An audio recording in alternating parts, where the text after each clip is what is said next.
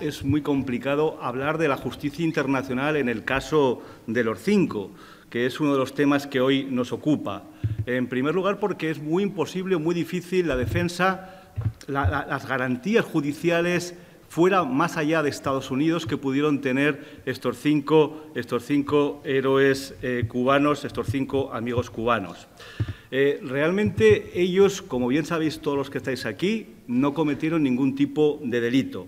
Es decir, se dedicaron a fiscalizar precisamente acciones de sabotaje y acciones de terrorismo a cometer por cubanos en el exterior o en el interior y en un acto de tal vez de ingenuidad a pasar toda una documentación en función de las investigaciones eh, contraterroristas de estas cinco personas al FBI, lo que sirvió además de arsenal probatorio para localizarlos y para procesarlos y para encarcelarlos. A partir de ahí los compañeros se pegaron unos buenos años en la cárcel, 16 años en la cárcel, y a partir de ahí hay que decir que sin ningún tipo de garantía judicial efectiva y vulnerando, yo creo que la mayor parte de los principios y valores de la tutela judicial efectiva, como reza en todas las constituciones, no tuvieron otro remedio que purgar los mencionados años en las prisiones estadounidenses. A partir de aquí se puede hacer un tratamiento de justicia internacional con el caso de ellos, pues realmente no se puede hacer ningún tratamiento de justicia internacional. Para empezar, porque Estados Unidos es un enemigo de los tratados internacionales, es un enemigo de los convenios internacionales siempre que tengan que ver con derechos humanos y con garantías judiciales. Es un enemigo. Nos encontramos ante la paradoja, ante la excepcionalidad estadounidense, como diría Martin Seymour Lipset, avalando esa posición por la cual los Estados Unidos realmente pueden eh, mm, tomar todo tipo de decisiones eh, en contra de la legalidad internacional por una cuestión de seguridad nacional propia de Estados Unidos. En este sentido, no se podía ir más allá en la defensa de los cinco, puesto que la única posibilidad que hubiera habido dentro de lo que es el sistema regional de derechos humanos en Latinoamérica, es decir, la Convención Americana de Derechos Humanos eh, y los organismos anexos a la misma, como el Comité y la Corte de derechos humanos también en el ámbito regional latinoamericano no podía o no se podía acudir, para empezar porque Estados Unidos sencillamente no tiene firmada la Convención Americana de Derechos Humanos. Un país eh, supuestamente líder eh, en derechos humanos, supuestamente líder en democracia, es el no firmante de la Convención de Derechos Humanos y esa no es la única, como diré más adelante, sino de muchas otras más. Se dirá, bueno, y Cuba tampoco tiene firmada la convención. Bueno, pero claro, Cuba es un partido criminalizado, estigmatizado por terrorismo se tiene que cuidar muy mucho de qué pasos da en las convenciones internacionales para no poder ser, eh, de alguna manera, eh, atacado eh, permanentemente, tanto de forma individual o colectiva. Pero no hay que decir eso, ni se puede decir eso de un militante en todo ese sistema de derechos humanos como es Estados Unidos, que pretende dar lecciones al mundo sobre modelos institucionales y orgánicos. Que no lo hagan otros que supuestamente no creen en esos modelos o que esos modelos son muy peligrosos, digamos, para su, propio, su propia supervivencia, como en el caso de Cuba, pero que lo diga y que lo haga el que avala eh, y el que siempre está argumentando eh, a favor de conceptos como derechos humanos y democracia dice mucho de Estados Unidos. Por lo tanto, la Convención de Derechos Humanos por ahí no se podía ir y por lo tanto ahí se acaba a nivel internacional el caso, el caso de los cinco y de la justicia internacional, que más bien, una vez más, es injusticia internacional. El título de esto es justicia o injusticia internacional. Realmente la justicia internacional, no ha existido nunca la justicia internacional. El sistema de estados nunca ha tenido mecanismos de justicia. Desde el siglo XVI que se conforman los estados, fundamentalmente los estados occidentales, que son los primeros que se conforman durante ese siglo y los siguientes, nunca tuvieron un sistema. El primer sistema de justicia, entre comillas, que empieza, eh, que empieza poquito a poco a consolidarse es después de la Segunda Guerra Mundial, a partir de Nuremberg y de la Carta de París. Me interesa eh, citar la Carta de París y el Tribunal de Nuremberg como uno de los primeros documentos en los que se empieza a generar un sistema de derechos humanos y de garantía internacional de derechos humanos. El Tribunal de Nuremberg y la Carta de París definen los crímenes contra la humanidad. Hablan de asesinatos, exterminio, cito textualmente, esclavitud, deportación y cualquier otro inhumano contra la población civil o persecución por motivos raciales, políticos, cuando dichos actos se hacen en conexión con cualquier crimen contra la paz o en cualquier crimen de guerra. Y, y, se definía así con todo el cinismo del mundo, se condenó a los gerifaltes nazis, se les condenó, se les ejecutó, se les condenó a cadena perpetua y a partir de ahí se suponía que la comunidad internacional se iba a mirar ahora mismo hacia adentro e iba a decir, bueno, esto está muy bien, asesinatos, terminio, esclavitud, deportación, pero resulta que, claro, eh, los nazis hicieron todo esto, los hemos condenado y los hemos matado. Pero, ¿y nosotros? Porque, claro, Inglaterra y Francia ocupaban, ocupaban todo el orbe haciendo lo mismo asesinando, exterminando, esclavizando y deportando poblaciones. Tenían tomada todo África y todo Asia. Mal empieza el sistema internacional cuando no hay ni siquiera una mínima autocrítica, una mínima reparación y una mínima petición de perdón a todos aquellos millones de personas que en genocidios parciales o totales fueron eliminados por los que luego construyen un sistema internacional que lógicamente ya nace viciado el sistema internacional de después de la Segunda Guerra Mundial, puesto que no surge con una base autocrítica y de reparación hacia todos esos territorios del mundo que habían sido, como dice la propia Carta de París, para jugar a los nazis, asesinados, exterminados, esclavizados, deportados. Pero es que la cosa no se queda ahí. El sistema de justicia internacional no puede nacer ni desarrollarse bien cuando no solamente no entonan el mea culpa, sino que además les cuesta descolonizar. Porque todos vosotros sabéis, ¿cuándo se terminó de descolonizar? En los años 60, finales de los años 60, y, por medio que Corea, Vietnam, Argelia y 20 países africanos que tuvieran auténticos procesos de descolonización después de la Segunda Guerra Mundial y después del fenómeno nazi, y con la Carta de París encima de la mesa tuvieron todavía serias dificultades para sacar adelante sus procesos de independencia, que costó muchísima sangre y muchísimo sufrimiento a cantidad de colectivos humanos. Nos estamos plantando ya, fijaos, al final de la descolonización, en los años 70, con un sistema internacional de justicia, como dice el título de mi intervención, dice justicia internacional o, o no, o injusticia. Hombre, injusticia hasta los 70, hasta ahora también, pero gravísima injusticia en un sistema hegemonista e imperialista de grueso calado. Alguien por ahí, teniendo en cuenta que yo soy presidente de una asociación al respecto, dirá, bueno, todavía quedan incluso casos de descolonización, y es verdad. En este sistema de injusticia internacional todavía queda un caso que nos toca a todos nosotros mucho, que es el tema del Sáhara Occidental. El Sáhara Occidental es un caso de descolonización en el anexo de las resoluciones 1514 y 2625 de las Naciones Unidas que todavía no se ha descolonizado porque sencillamente no hay interés en la comunidad internacional de llevar a cabo la cuestión por una cuestión de geoeconomía y de geopolítica. Pero no solamente eso, ni siquiera los derechos humanos. La última resolución del Consejo de Seguridad se le pide, por lo menos, que la MINURSO Naciones Unidas vigile los derechos humanos en el Sáhara Occidental. Justicia internacional, que menos, ya que no me das la descolonización, que por lo menos las Naciones Unidas y la misión, que nos cuesta una pasta, vigile los derechos humanos. Pues ni eso, porque como compromete a un régimen dictatorial aliado como Marruecos y geopolíticamente interesante, no, no, ¿cómo que es eso de vigilar los derechos humanos? No, no, yo soy el defensor de los derechos humanos, Estados Unidos, Francia, pero lo de vigilar los derechos humanos para los saharauis, mire usted, eso ya veremos nosotros a quién le asignamos eh, la vigilancia de los derechos humanos y a qué países y a qué estados, ¿no? Como por ejemplo otro que citaré más adelante, como es Venezuela. Ahí sí que vigila los derechos humanos todos los días, a todas las horas y por parte de grupos e individuos diferentes, pero que no se los vigilan los saharauis en territorio, en territorio, en territorio marroquí. Estados Unidos como principal saboteador de todo el sistema de justicia internacional. Resumiendo, antes hablaba de que no firma la Convención Americana de Derechos Humanos, pero no firma la Convención Americana de Derechos Humanos como no firma la cantidad de, tratados de derechos humanos. Es uno de los países que menos tratados tiene firmados o ratificados, porque firmados tiene bastantes, pero ya sabéis que para que se ponga un, tratado en funcionamiento hace falta ser ratificado. ¿no?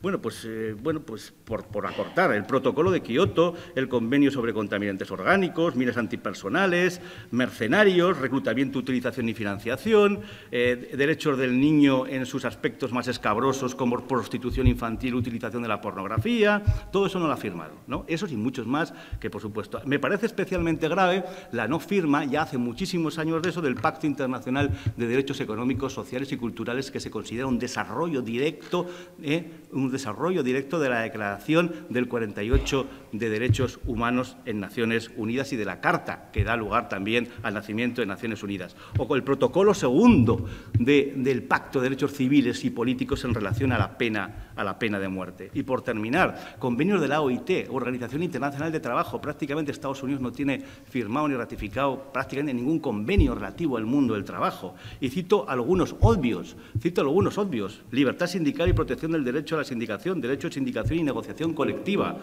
Sobre edad mínima de admisión al empleo, convenios sin citar por parte de Estados Unidos en este sistema teóricamente, en este sistema teóricamente que ellos defienden y que ellos avalan y que critican al que a lo mejor no firma, hace o deshace según sus homologaciones de, democracia. Quedan sobre todo dos aspectos fundamentales de este quebrantamiento sistemático de la legalidad institucional internacional por parte de, Estados Unidos. La Corte Internacional de Justicia, ya que hablamos de justicia internacional o injusticia, Estados Unidos no ha firmado, o mejor dicho, firmó, pero se fue el, el convenio de la Corte Internacional de Justicia de la Haya. En el 85 se va.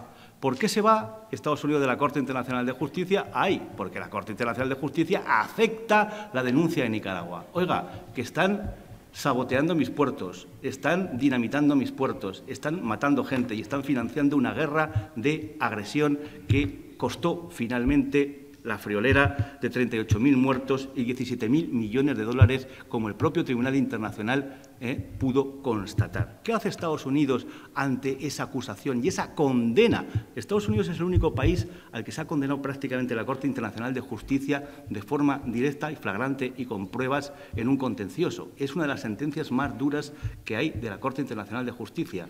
¿Y qué hace Estados Unidos cuando, antes de que le condenen, ¿no? ¿Eh? Coge y dice, me voy de la Corte Internacional de Justicia. Con lo cual Estados Unidos no está en la Corte Internacional de Justicia. Es decir, uno, de los principales núcleos eh, del sistema de justicia internacional, pues tampoco está Estados Unidos. Y alguien dirá, bueno, donde sí que estará será la Corte Penal Internacional, ¿no? Delitos de genocidio, lesa humanidad, crímenes de guerra, allí sí, terrorismo, en definitiva, toda, todo el apartado eh, del artículo 8, el C y el D, eh, está describiendo crímenes de terrorismo, aunque no lo cite con, esos, con, esos, con esas apelaciones, el Estatuto de Roma, que regula la Corte Penal Internacional. Pues bien, alguien dirá, bueno, ahí Estados Unidos, bueno, en primera línea contra el terrorismo, yo, pues entonces la Corte Penal Internacional y el Estatuto de Roma. ¿Qué pasa? Pues que Estados Unidos también se sale de la Corte Penal Internacional. Primero firma y en el 2002 denuncia el tratado y se sale. No solamente hace eso, no solamente no forma parte de un, sistema que no es perfecto, desde luego, más bien es precario, pero, pero bueno, eh, pero ni siquiera eso, ni siquiera los mínimos de la Corte Penal Internacional, por, un por si acaso. Hace algo peor, que es chantajear a muchos estados con el artículo 124 del Estatuto de Roma. El Estatuto 124 del Estatuto de Roma es un artículo por el cual tienen los países la posibilidad de eximir a otros países eh, de sus comportamientos delictivos dentro de ese país. Es decir, que si cazan a un americano en un país que ha firmado el Estatuto de Roma, lo cazan con crímenes de guerra eh, o con crímenes de lesa humanidad, en función de esa cláusula, el estadounidense correspondiente sale indemne al respecto. Es decir, no solamente no firma, sino que obliga y chantajea a muchos países para que hagan utilización de la cláusula del artículo 124, por lo cual no solamente a ellos en los países no firmantes, sino incluso no firmantes, tengan impunidad absoluta. Porque si realmente tan justicieros fueran, pues no les costaría ningún esfuerzo, si tan democráticos y tan respetuosos con los derechos humanos, no les costaría ningún esfuerzo a Estados Unidos, pues eh, eh, firmar la Corte Penal Internacional, porque tampoco es que esté llena de revolucionarios los jueces de la Corte Penal Internacional, ni de fiscales eh, que militen, no sé, en partidos comunistas o en Podemos, o no, son gente más bien de perfiles bastante moderados.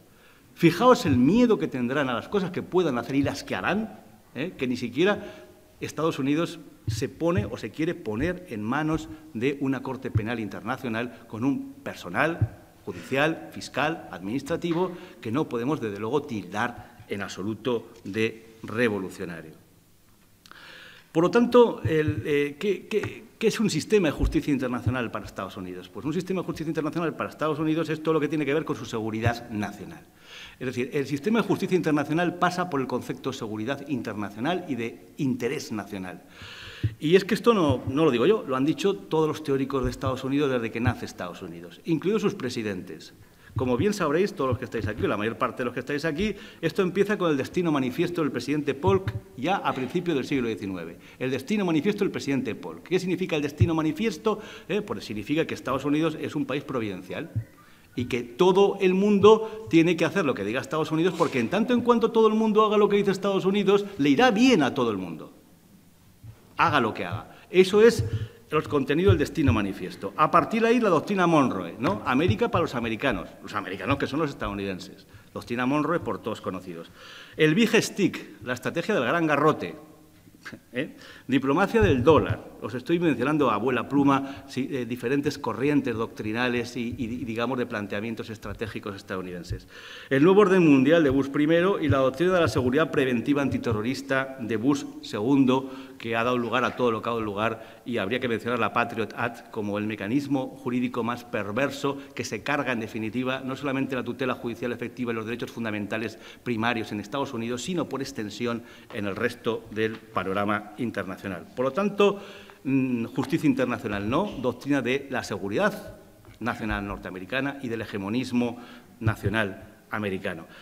Tengo aquí a Condoleezza Rice, por, decir, bueno, y esto llega, en la actualidad se, se, puede mantener todavía los dictados del destino manifiesto del presidente Polk de 1818, o ya habrá cambiado, ya no se creerá en el país providencial por naturaleza. No, no, no. Si, alguien lee un artículo de Condoleezza Rice, Condoleezza Rice fue la secretaria de Estado con Bush y asesora, estuvo del 2001 al 2009 prácticamente dirigiendo, impregnando la política exterior estadounidense. Pues Condoleezza Rice, antes de llegar a, los gobiernos de Bush, eh, pues escribe un artículo en Foreign Affairs en el volumen 79, en el año 2000, que se sigue denominando promoviendo el interés nacional. Y promoviendo el interés nacional es precisamente un manifiesto que, es casi, casi, y se podría hacer una comparación, una versión nueva a nivel del siglo XXI de lo que fue el destino manifiesto del presidente Polk. Es decir, Estados Unidos está aquí para salvar al mundo.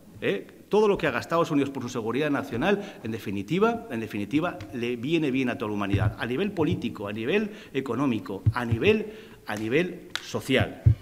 Esto es lo que dice Condoleezza Rice, tesis providencialista, el líder mundial, por lo tanto, tiene que seguir siendo Estados Unidos. Los derechos humanos solo valen bajo la, interpretación y la lógica de los propios Estados Unidos.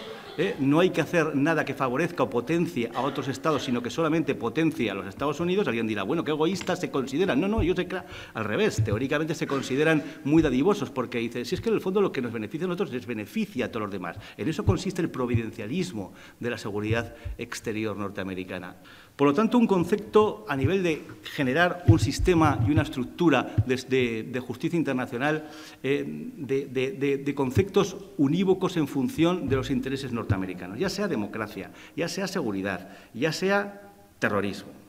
Casos actuales, casos actuales podría haber mucho de la connivencia de Estados Unidos con regímenes que son los mayores violadores en derechos humanos. Tenemos todo lo que es el Golfo Pérsico y la connivencia y complicidad con Arabia Saudí, con Qatar, con Emiratos Árabes Unidos, con Dubái, con Egipto, luego con Yemen, con Jordania, con Marruecos y, sin embargo, la criminalización de otros regímenes de la zona bastante más moderados de algunos de los que he citado, como Irán y como Siria, que son objetivos permanentes de su política de agresión militar y económica. El caso de Siria, por ejemplo, un sistema de justicia internacional. Bien, hay un movimiento armado eh, que es el ISIS, que es el Estado Islámico, que está ahora mismo siendo financiado y apoyado logísticamente, aunque se diga que se le bombardea, cosa que no es verdad, si realmente se hubiera acabado, si se hubiera querido acabar en la orografía donde, donde está trabajando ahora mismo el Estado Islámico, se hubiera acabado. Y sin embargo, lo que se está haciendo es financiarlo indirectamente eh, a través de Arabia Saudí y a través del apoyo logístico de Israel cosa que el otro día se constató en este famoso acuerdo entre Arabia Saudí, famoso no, famoso porque fue hace dos días, entre Arabia Saudí e Israel. En el panorama de las libertades fundamentales, el panorama de las libertades fundamentales y más allá de muchos más ejemplos que podíamos poner de geopolítica internacional, el panorama de las libertades fundamentales tiene dos hechos fundamentales en los últimos años hablando de un sistema de justicia internacional. Wikileaks y los archivos de la Agencia de Seguridad Nacional, el famoso PRIS, Programa de Vigilancia Masiva, que los conoceréis más bien por los nombres de los que son sus protagonistas, como son Julian Assange en Wikileaks y Snowden en los archivos escuchas de la Agencia de Seguridad Nacional. Bien, a través de Wikileaks y a través de la filtración de Snowden, nos enteramos de que Estados Unidos está violando absolutamente todos los derechos fundamentales civiles, ya no los sociales y los económicos, sino todos los derechos fundamentales civiles en todo el mundo a través de sus embajadas y a través de sus redes de, sus redes de espionaje. ¿Cómo reacciona el mundo y cómo reacciona un sistema de justicia internacional que realmente no tiene mecanismos para, poder defender esos derechos fundamentales, no tiene mecanismos hábiles. ¿Cómo, reacciona con Snowden o con Assange. El caso es que Snowden está exiliado político escondido, lleva cuatro años. Ah, Julian Assange lleva en la Embajada de Ecuador en Londres cuatro años preso y el soldado Manning, que dio lugar, digamos, a las filtraciones de Wikileaks, ha sido condenado a 30 años y además está en una cárcel incomunicado. Es decir, tres luchadores de la libertad, tres luchadores que ponen en evidencia que todo el sistema internacional de derechos fundamentales tan básicos como expresión o intimidad no existen en el mundo porque hay sistemas de vigilancia masiva por parte de Estados Unidos que están vulnerándolo. Bien, los tres, cualquiera de los tres, están ahora mismo escondidos, eh, acogotados, esquinados y bajo la amenaza no solo de Estados Unidos, sino de todos los países occidentales que son cómplices en que el señor Assange esté en la Embajada de Londres refugiado durante cuatro años, el señor Snowden escondido y el señor soldado Manning esté condenado a 30 años incomunicado ante la complicidad y el silencio de toda la comunidad internacional militante en un sistema, como dice el título, vuelvo al título, de justicia, de injusticia, de injusticia internacional. Y podemos también, pues, pues hablar de países concretos en este sistema de justicia internacional, más allá de, violaciones masivas, yendo ya a focalizar económica y políticamente a países concretos, el caso de Venezuela. El caso de Venezuela es casi el caso paradigmático. ¿Qué tendrá Venezuela? ¿Qué tendrá Venezuela para que Obama dicte una orden ejecutiva declarando la emergencia nacional respecto a Venezuela y diciendo que la situación de Venezuela constituye, cito textualmente, una amenaza inusual y extraordinaria para la seguridad nacional y la política exterior de Estados Unidos y se declara una emergencia nacional para el tratamiento de esa amenaza.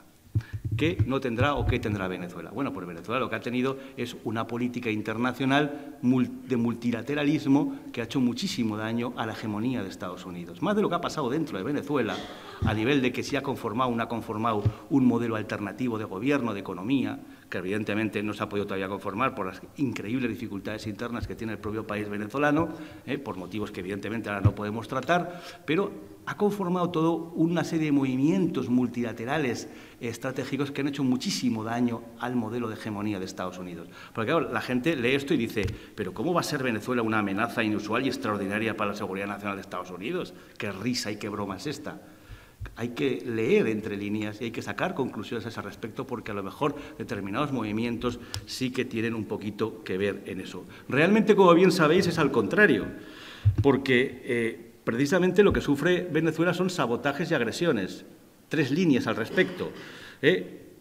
y hablando también de la implicación de Estados Unidos en dicha cuestión marzo del 2014. La Embajada de Estados Unidos, como hay ahora mismo un sumario en manos de los jueces muy amplio, eh, tiene mucho que ver en las famosas guarimbas de marzo del 2014 con 42 muertos. Hay que decir que esos 42 muertos son 31 de los mismos son o personas que no tenían que ver con ninguno de los bandos o eran incluso chavistas, y que solamente hay 13 personas que realmente de esos muertos son opositores. A ese respecto, la familia de los muertos en Venezuela en los incidentes, que han formado una plataforma y una comisión, se quiso entrevistar el otro día con el señor Felipe González. Y el señor Felipe González no quiso entrevistarse con la plataforma de familiares afectados por esa teórica vulneración del, del gobierno de Venezuela, que lógicamente no ha sido tal porque el Gobierno, de alguna manera, apoya a esas familias eh, que murieron en aquellos incidentes y que no pertenecían exactamente a la oposición. Una ofensiva en, todos los terrenos contra, contra, Venezuela. Podría hablar de Venezuela, podría hablar de Siria, podría hablar de Irán, podría hablar de otros, de otros casos. Estoy hablando como ejemplo de Venezuela. Pero que ha podido, que ha podido movilizar al Parlamento Europeo, que no tiene otra cosa que hacer más que dedicarle toda una sesión de moción de censura a Venezuela al Parlamento español, que no tiene otra cosa que hacer, ni tiene otros ejemplos ¿eh? que otra sesión de condena a la violación de derechos humanos en Venezuela.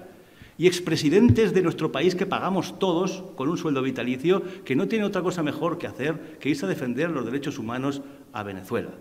Cuando además no pueden defender a unas personas cuando no tienen la capacidad técnica, quiero decir técnico-administrativa, no están habilitados para poder hacerlo, como pretendían ambos ambos dos, el señor Felipe González, fundamentalmente el señor Mr. X, que de vulneración de derechos humanos sabe un rato, de vulneración de derechos humanos civiles, políticos y sociales. No hay que recordar que, hay que recordar, hay que recordárselo de vez en cuando, que Aznar termina un proceso de privatización que comienza, desarrolla el señor Felipe González y que el señor Aznar reforma el Estatuto de los Trabajadores en siete ocasiones, pero que el señor Felipe González lo había ya quebrantado y había reformado el Estatuto de los Trabajadores impeyus, como decimos los juristas, a peor, en diez ocasiones.